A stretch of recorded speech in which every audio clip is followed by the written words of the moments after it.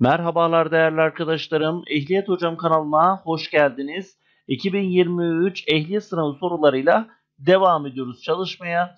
Ee, kanalımıza abone olup bildirimleri açabilirsiniz değerli arkadaşlarım. Böylece her yeni videodan sizlere haberdar ederiz. Kaçırmamış olursunuz hem sizin için de hatırlatma olur. Yine ehliyet.hocam adresinden Instagram'dan bizleri takip edebilirsiniz. Burada da yine e, biz hikayede paylaşıyoruz her yeni video attığımız zaman. Ee, bunun yanında orada arkadaşlarım soru da paylaşıyoruz. Takip etmenizde fayda var diye düşünüyorum. Ee, uygulamamız var. Ehliyet Hocam uygulaması Google Play'de mevcut. Bunu indirip günlük soruları, buranın dışında da paylaştığımız günlük soruları çözebilirsiniz. Ee, bunun yanında eğer telefonunuz Android değilse ehliyethocam.org adresinden çözüm yapabilirsiniz değerli arkadaşlarım. Soru bankasını soruyor bazı arkadaşlarım. Ee, tek seferde geçmek istiyorsa hocam vesaire. Arkadaşlar bunun için aşağıdaki yorum kısmındaki yorum e, numaradan veyahut da işte e, Instagram adresimizden ulaşıp sağlayabilirsiniz diyorum. Hadi fazla vakit kaybetmeden şöyle sorularımızla devam edelim. Şekildeki numaralandırılmış şeritlerden hangisi otoyoldan ayrılmak isteyen araçlar içindir demiş birinci sorumuz. A 1, B 2, C 3, D şıkkı ise 4 demiş. Doğru cevabımız A şıkkı olacak arkadaşlar. Burada neye bakıyorduk? Daha önce de anlatmıştım. E, şu kutsal kalemi öncelikle açayım. E, arkadaşlar ok yönüne bakıyoruz. Bakın e, ok burada ne yapıyor? Ayrılma bakın yoldan çıkıyor. Burada ise yola dahil oluyor. Ee, o halde 2 ve 3'e normal şeritler bunlar otoyoldaki ama 1 numara ayrılma şeridi 4 numara ise nedir arkadaşlar? Ayrılma şeridi dendik bir numaraya. 4 numara ise e, giriş şerididir. Hızlanma şerididir. E, 4 numara. 1 numara ise yavaşlama şerididir arkadaşlar. Yani diğer isimlerini de söylemiş oldum. Belgelerinde aksine bir hüküm yoksa şehirler arası bölünmüş karayolunda tehlikeli madde taşıyan araçların azami hızı saatte kaç kilometredir demiş. 40, 50, 60, 70 şıklarda verilmiş. Doğru cevabımız C şıkkı olacak arkadaşlar. 60 kilometre hızla e, gidebilirler. Yine bu arada bir sorulan bir soru. Ee, arkadaşlar genelde soruları çevirip soruyorlar. Ben hani Instagram hesabında paylaşıyorum ya bazen. Ee, hani yeni çıkan sorularda o tip sorular var. Hani yukarıda hikayeyi veriyor. Altta da sizden bu hikayeyle ilgili olan sonucu bekliyor. Ee, artık yeni tip sorular böyle başlıyor. Çünkü sizin olaydan sonuç çıkarmanızı bekliyor. Bu arada videoyu yarıda kesmeyin. Sonuna kadar izlemeye çalışın arkadaşlar. Hani ilk baştaki sorulardan değil belki sondakilerden çıkar. Eğer yavaş geliyorsa sorular hızlandırıp izleyebilirsiniz.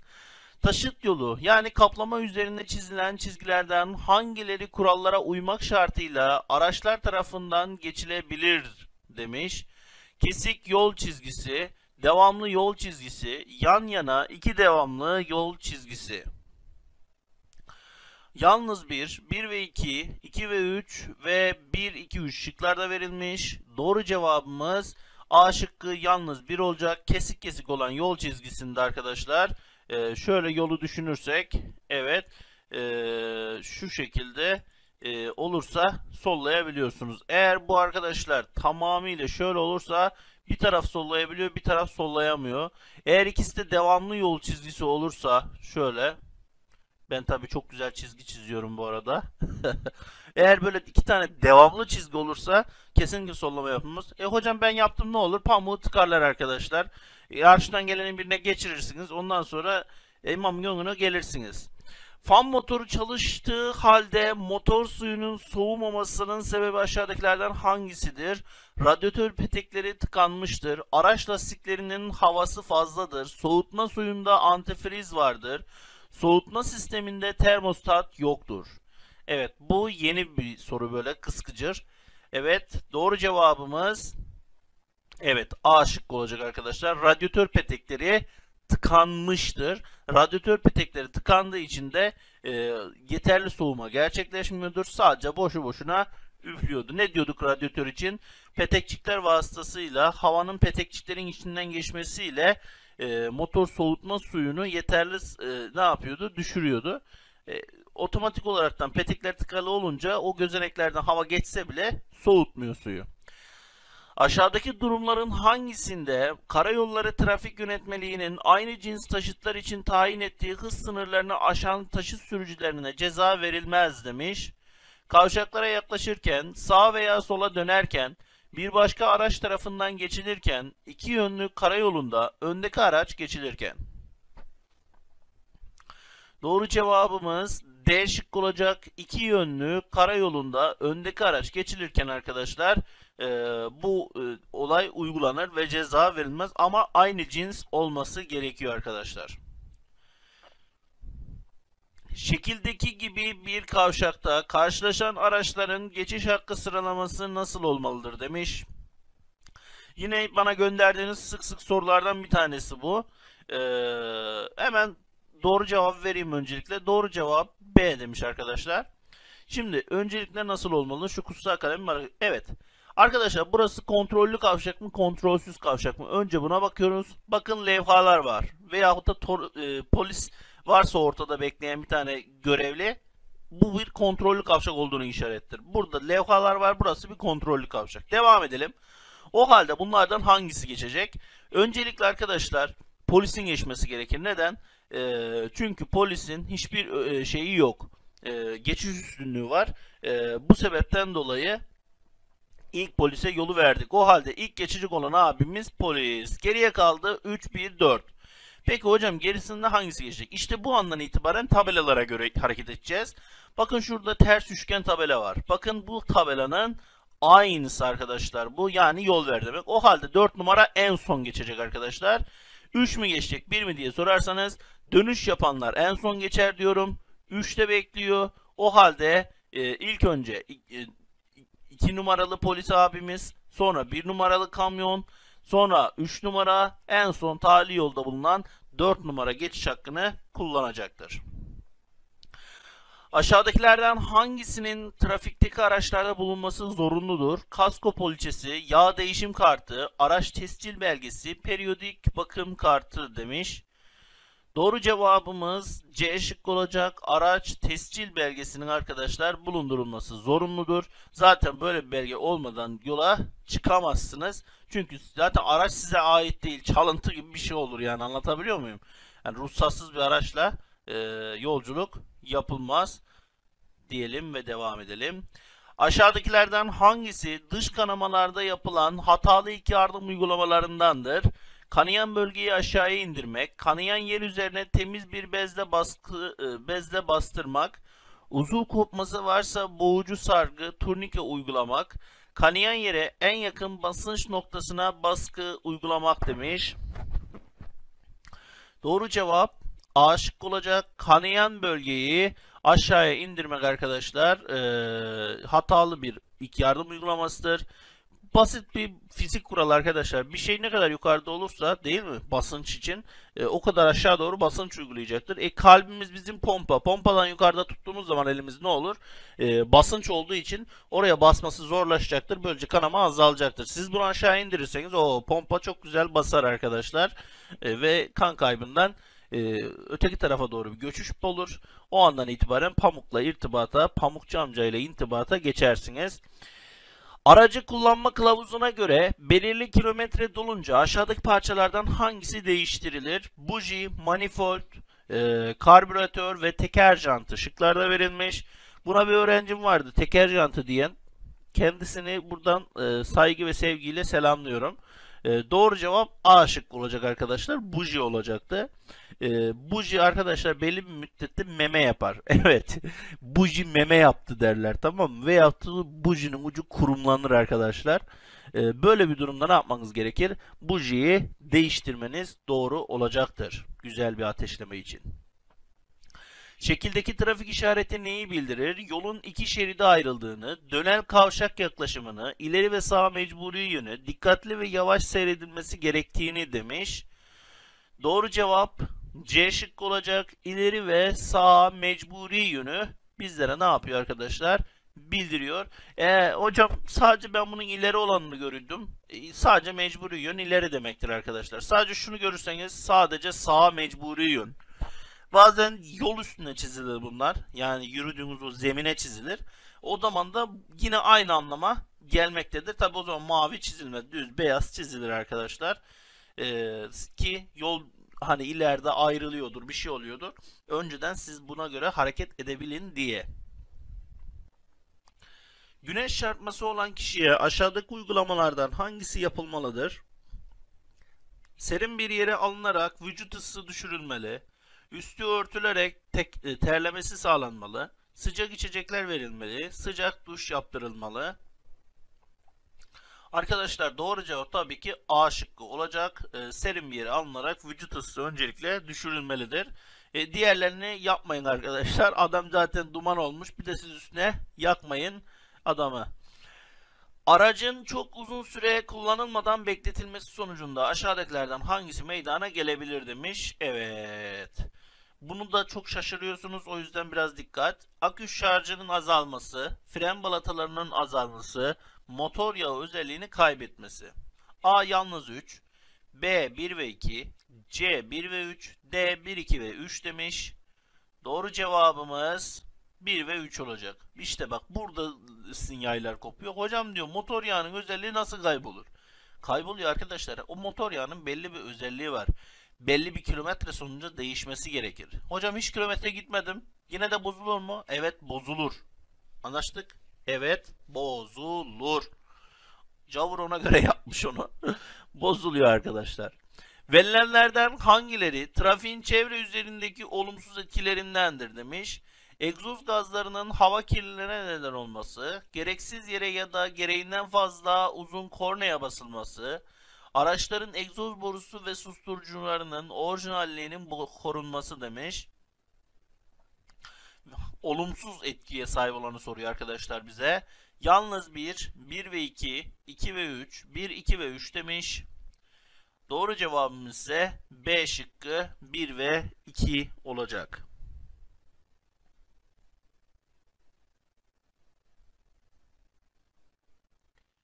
Soru. Ha doğru. bir an var ya 1 ve 3 olarak algılamışım. Ulan dedim editöre pamuğu tıkayacaktım. Hararet yapmış bir motorda radyatör suyu çok sıcak değilse aşağıdakilerden hangisinin arızalı olduğu düşünülür demiş. Fan müşürünün, termostatın, e, fan sigortasının, klima kompresörünün demiş. Doğru cevabımız B şık olacak. Termostatın olacak arkadaşlar. Arızalı olduğu düşünülür ee, diyelim. Çünkü arıza vardır. O sebepten dolayı bize hararet yapmış gibi yanlış gösteriyordur. Aksine bir işaret yoksa eğimsiz iki yönlü dar yolda minibüs ile kamyonun karşılaşması durumunda hangisi diğerine yol vermelidir demiş minibüs kamyona, kamyon minibüse, e, hızı fazla olan araç diğerine, yolcu sayısı fazla olan diğerine şeklinde verilmiş. Doğru cevabımız B şıkkı olacak arkadaşlar. Kamyon minibüse olacak. E, kamyon minibüse yol vermelidir arkadaşlar. E, B şıkkı olacak. Büyük olan küçük olana ne yapacak? A birlik yapacak. Yol verecek. Tabii ki düz eğimsiz yoldan bahsediyoruz. Aracın gösterge panelinde şekildeki uyarı lambasının yanıyor olması neyi bildirir demiş. Lastik basıncının düşük olduğunu, el freninin çekili olduğunu, sis lambalarının yandığını, fren balatalarının bittiğini. Doğru cevap D şıkkı fren balatalarının bittiğini bizlere bildiriyor arkadaşlar. Aşağıdakilerden hangisi trafik bilgi işaretlerindendir demiş. Doğru cevabımız tek yön yazan bu tabelamız olacak arkadaşlar. Diğerleri e, tanzim işarettir arkadaşlar. E, şöyle söyleyelim. Bu görmüş olduğunuz e, mecburi yönün bu yöne doğru olduğunu, e, bu görmüş olduğunuz buraya yayaların girmesinin yasak olduğunu, bu görmüş olduğunuz tüm yasaklama sınırlamaların bittiğini bizlere bildirir arkadaşlar. Motor çok sıcak iken radyatörde su, e, soğuk su konulması aşağıdakilerden hangisine sebep olur demiş.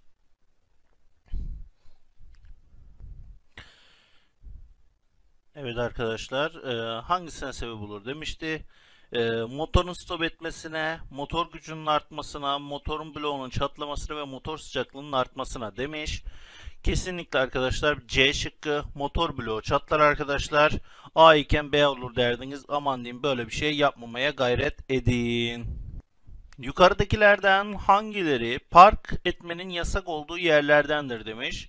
Geçiş yollarının önü ve üzeri, kamu hizmeti yapan yolcu taşıtlarının durakları, görüşün yeterli olmadığı tepe üstlerine yakın yerler ve dönemeçler demiş. Doğru cevap D şıkkı olacak. Bunların olduğu yerlere yapılmaz. Hocam bir ev var. Evin çıkışına koyamaz mıyım? Koyamazsın kardeşim. Yasaktır. Ee, adam size ne, polis ararsa tak diye cezayı yersin. Bir hafta boyunca ne bana diye dolaşırsın. Ee, sürüş sırasında aracın gösterge panelinde bulunan şekildeki ikaz ışığının yanması sürücüye hangisini bildirir demiş. Alternatörün şarj etmediğini, emniyet kemerinin takılmadığını, motor yağ basıncının düştüğünü, motor soğutma suyu sıcaklığının yükseldiğini demiş. Doğru cevabımız A şıkkı olacak arkadaşlar. Alternatörün şarj etmediğini bizlere ne yapıyor? Bildiriyor. Aşağıdakilerden hangisi dizel motorun soğuk havalarda geç çalışmasına neden olur? Isıtma bujisinin arızalı olması, hararet müşürinin arızalı olması, enjeksiyon basıncının düşük yüksek olması, besleme pompasının fazla yakıt göndermesi demiş. Doğru cevabımız A şıkkı ısıtma bujisinin arızalı olması olacak arkadaşlar. Mesela birazdan ben yola çıkacağım. Şu anda sabahın 6'sı ee, ve ben birazdan yola çıkarken eksi 9 olduğu için hava benim araç zor çalışacak. Neden? Çünkü ısıtma bujisine bakıtmamıştım. Ee, sürekli alarm veriyordu. Halay çekeceğiz. İnşallah kapılar açılabilir. Bugün gerçekten hani e, direksiyon videosu çekecektik mesela. Onu bile ertelemek zorunda kaldık. Gerçekten çok şiddetli soğuklar var. Olsun olmasın demiyorum da. hani kar yağınca hava soğuğu e, ısıracak biraz diye bir adam var. Nerede o diyor ya adam. Ona döndü işimiz biraz. Kar yağsın biraz hava yumuşar diyorduk. Kar yağdı hava biraz yumuşadı. Aşağıdakilerden hangisi özel araçların gereksiz kullanılmasının sonuçlarındandır demiş yakıt tüketiminin azalması, gürültü kirliliğinin önlenmesi, zararlı gaz salınımının artması, trafik yoğunluğunun azalması demiş. C şıkkı olacak. Zararlı gaz salınımının artması olacak arkadaşlar. Aşağıdakilerden hangisinde oynanma oynamaz eklem bulunur demiş. Dirsek, omurga, kafatası, el bileği şıklarda verilmiş. E, doğru cevabımız da C şıkkı olacak. Kafatası olacak arkadaşlar. Kafatasımızda oynayan eklem yok yani.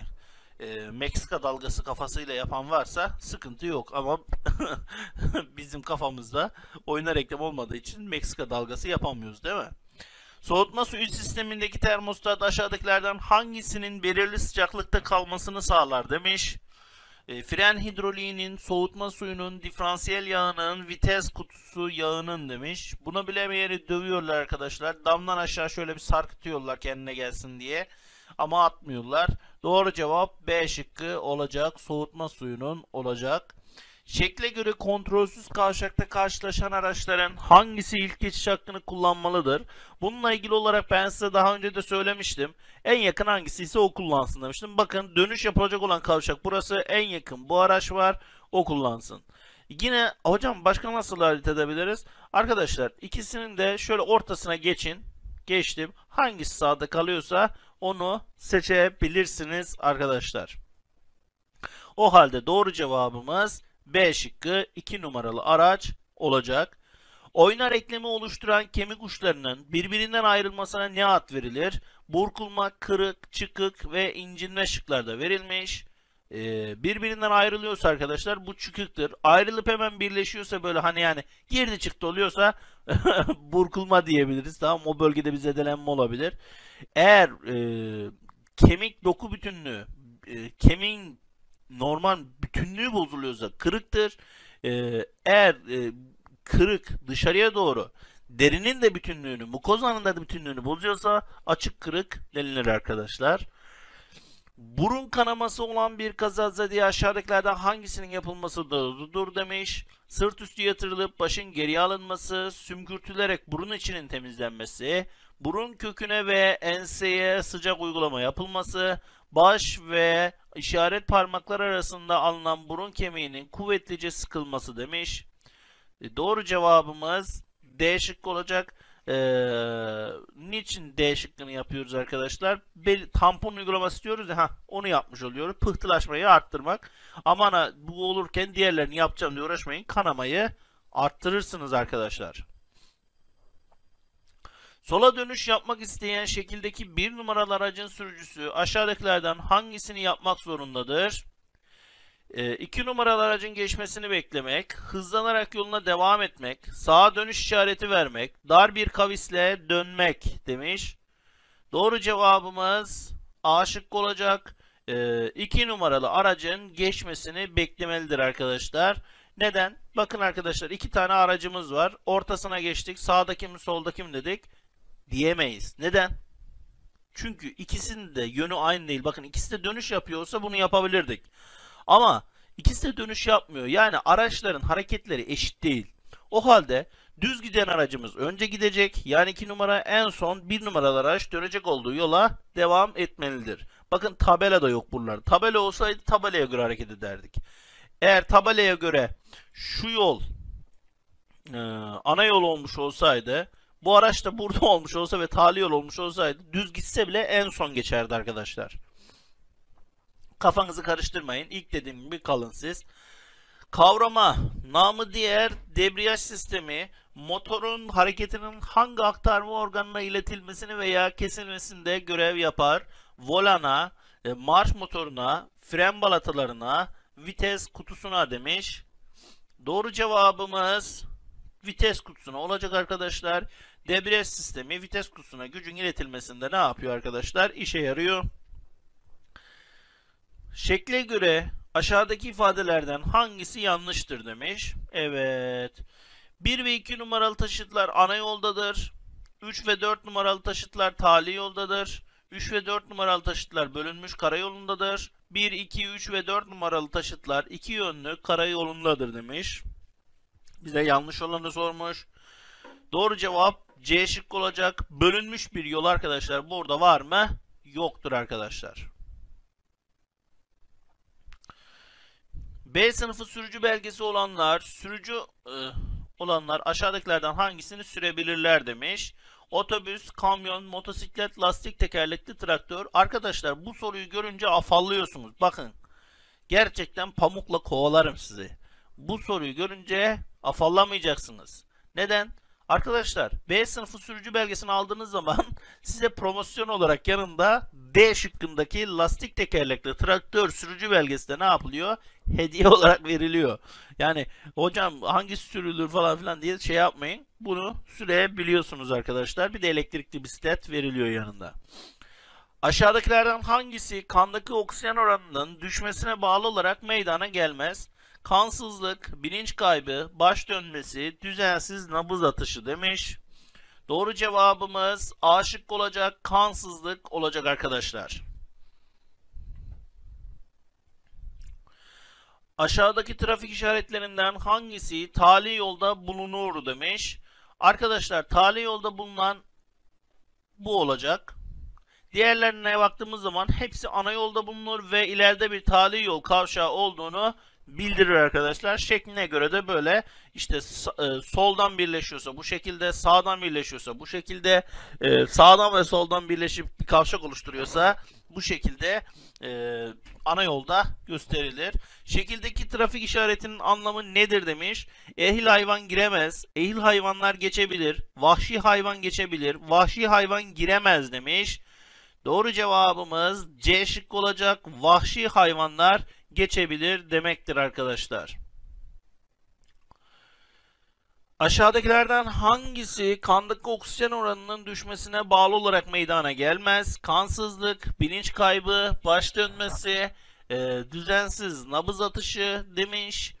Doğru cevap tabii ki de kansızlık e, olacak. Ee, arkadaşlar kansızlık e, işte Akdeniz anemisi olabilir tamam mı? Demir eksikliğine bağlı olabilir. Bu tip şeylerle meydana gelen bir durumdur. Ee, radyatördeki su miktarının azalmasına aşağıdakilerden hangisi neden olur demiş. Halay çekmeniz, horon tepmeniz diye böyle bir devam etsem. motorun hararet yapmasına, motor devrinin yükselmesine, klimanın düzensiz çalışmasına, akünün kısa zamanda bitmesine demiş. Aşık olacak motorun hararet yapmasına arkadaşlar neden olur su miktarının azalması.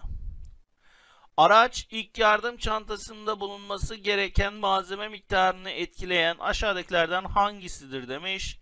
Sürücünün isteği, aracın büyüklüğü, taşınan yolcu sayısı, aracın yeniliği demiş. Tabii ki de taşınan yolcu sayısı olacak. Hocam benim araç çok yeni. Alakası yok arkadaşlar. C şıkkı olacak. Tepe üstüne yakın yerlerde veya dönemeçte arızalanan aracın ön ve arkasına konulacak yansıtıcı diğer sürücüler tarafından normal hava şartlarında en az kaç metre mesafeden görülebilmelidir demiş. 150, 100, 75 ve 50 şıklarda verilmiş. E doğru cevap da A şıkkı olacak arkadaşlar. Arkadaşlar açıklanacak sorularda açıklama yapıyorum. Açıklanmayacaklarda vakit kaybına sebep yok. Sebep demişim gerek. Su soğutmalı motorlarda soğutma sistemi parçası aşağıdakilerden hangisidir dedik. Karter, karbüratör, radyatör, kurbülatör demiş. Doğru cevap C şık olacak. Karter yağ deposu, karbüratör ise bizim yakıt hava karışımını benzinli motorlarda ayarlayan parçamız. Radyatör soğutma suyu ile ilgili e, bunları da bilmiş olalım arkadaşlar. Motorlu araçlarda eski ve aşınmış lastiklerin kullanılması aşağıdakilerden hangisine sebep olur? Motorun yağ yakmasına, motor sarsıntılı çalışmasına, egzozdan siyah renkli duman çıkmasına, yağışlı havalarda kaza tehlikesinin artmasına demiş.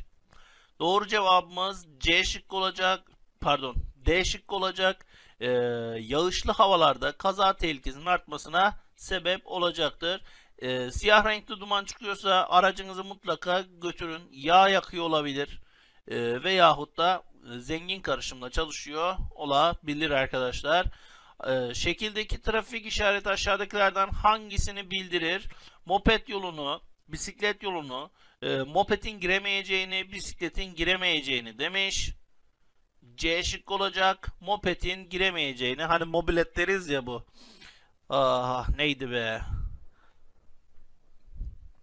Kontrolsüz demir yolu geçidine yaklaşan sürücülerin aşağıdakilerden hangisini yapması doğrudur demiş. Hızlarını arttırarak geçmesi, uygun mesafede mutlaka durması, demir yolu çok hatlı ise yavaş geçmesi, demir yolu tek hatlı ise e, hızlı bir şekilde geçmesi demiş. uygun mesafede mutlaka durulması olacak arkadaşlar. Sakın öyle armutlama atlamayın.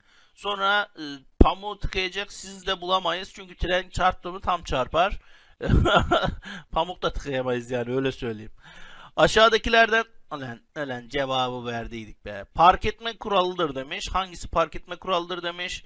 Doğru cevap C şıkkı olacak. Arabayı 5 dakika geçmeyecek şekilde park etmek e, olacak arkadaşlar. C şıkkı olacak.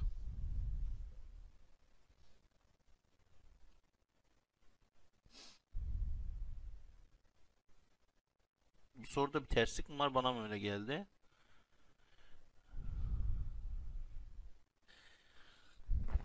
Galiba bu soruda bir yanlışlık var arkadaşlar. Bu sorunun cevabı C olamaz. Ee, araçta bir gözcü bulundurmak demiş. Aracın anahtarını park görevlilerine teslim etmek. 5 ee, dakikayı geçmeyecek şekilde beklemek. Park yerindeki araçların çıkışını engellememek. Arkadaşlar bu soru galiba yanlış sorulmuş. Ee, bu soruyu iptal ediyorum. 43. soru iptal. Ee, şimdi iptal bu soru tamam. Ha, bu soru büyük ihtimalle şöyle sorulmuştu. Aşağıdakilerden hangisi park etme kuralı değildir şeklindeydi ve doğru cevap da C şıkkı olacaktı. Büyük ihtimalle ama e, bir yanlışlık yapılmış. Kuraldır şeklinde alınmış. E, Çünkü arkadaşlar park edecek araçların çıkışını engellememek bir park etme kuralıdır değil mi? Ee, park yerindeki diğer araçları engellememek. Ee, aracı 5 dakika geçmeyecek şeklinde bir yanlışlık var ya da oku yanlış yere koymuşlar. Neyse arkadaşlar bu soru iptal. E, tehlikeye mahal vermeyelim. Aşağıdakilerden hangisi motor parçalarının ve motor yağının aşırı ısınmasını önler? Cam suyu, fren hidrolüğü, akü, akü elektroliti, motor soğutma suyu demiş. Doğru cevabımız D şıkkı olacak. Motor soğutma suyu olacak arkadaşlar.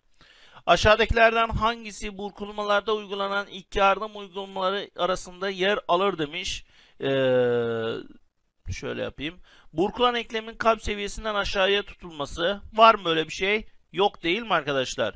Burkulan eklemin sıkıştırıcı bandajla tespit edilmesi. Hadi olabilir. Sürekli hareket ettirilmesi kesinlikle. Ee, turnike uygulanması. Biz sadece turnikeyi kanamaları engellemek için e, yapıyorduk değil mi? Uzun kopmalarında. E, doğru cevap o halde arkadaşlar. Burkulan eklemin sıkıştırıcı bandajla tespit edilmesi olacak. B şıkkı olacak arkadaşlar.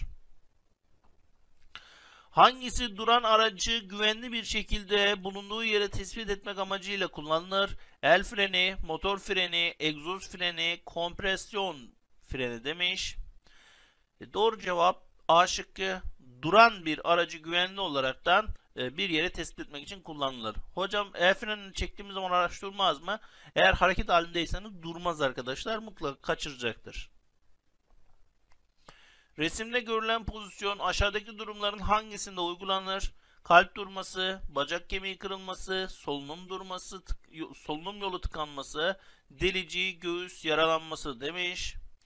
D şık olacak. Delici göğüs yaralanması olacak arkadaşlar.